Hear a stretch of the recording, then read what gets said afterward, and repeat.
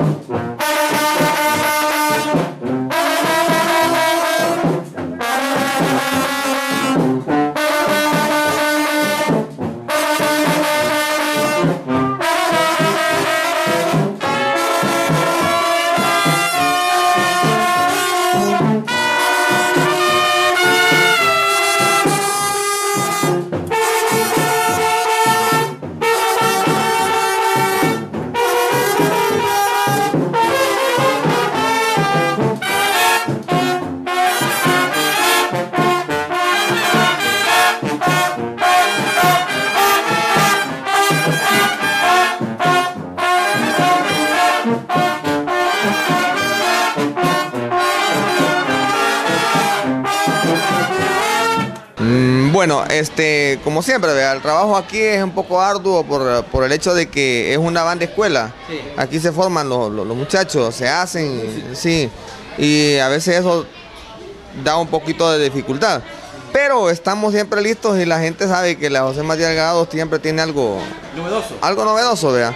Hoy hemos tratado de darle una imagen nueva a la banda y una, va a ser una sorpresa para la gente de Santa Rosa. Hemos dado ahí en, en los correos, pero pero no hemos dado nada de lo que tenemos guardadito ahí. Hay que, que esperen, ahí va a estar la Matías Delgado como siempre. ¿Cómo se compone esta banda, profesor? ¿En qué? No, no lo entiendo. Este, la banda está formada así, el área de metales, eh, el área de percusión y la parte coreográfica, que es muy importante de la banda.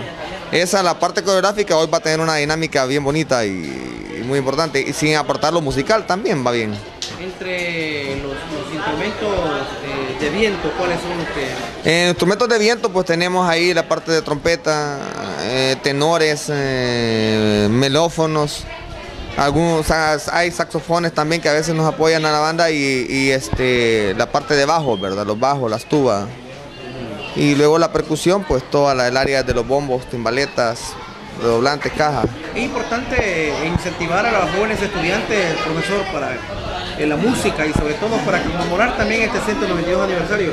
Bien, la tradición, las bandas siempre por tradición eh, eh, se, han utilizado para lo que es la celebración de la independencia, ¿verdad? Ahora se les ha dado algo otro, algo otra, eh, algo otro perfil o matiz a las bandas de, de los centros escolares en el aspecto musical.